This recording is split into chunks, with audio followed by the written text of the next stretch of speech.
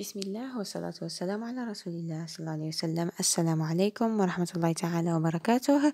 اليوم فيديو جديد ودرس مهم جدا اللي يتكرر دائما في البكالوريا ولازم تفهموه مليح باش تاخذوا العلامة الكاملة وباش ما تغلطوش فيه اللي هو por y para. Como utilizar y cuando utilizar por y para en la lengua española.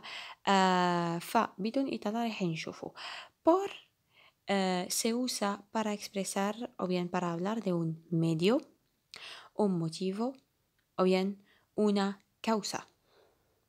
Y siempre por va con un sustantivo.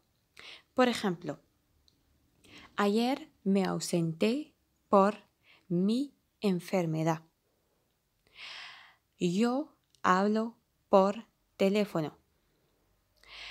الموتيفو ولا لا كوسا هي mi enfermedad أنا البارحة تغيبت لأني كنت مريضة ولا hablo por teléfono es un medio أنا أتكلم عبر الهاتف ففي هذه الحالة un medio لهذا استعملنا por أما para siempre lo utilizamos para hablar de una finalidad La finalidad هي الهدف. Y siempre va con un verbo en infinitivo o bien en subjuntivo.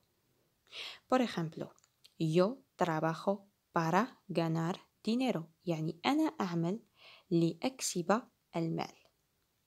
Yo trabajo para que mis hijos sui, uh, vivan, perdón, vivan bien.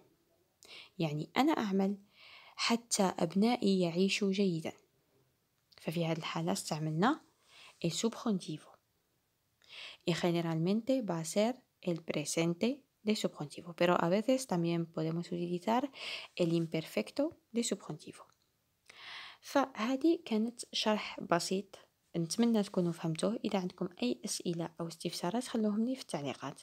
ما تنسوش تشتركوا في القناة وتخلوا لي إعجاب وتشاركوا الفيديو مع زملائكم حتى تعم الفائدة.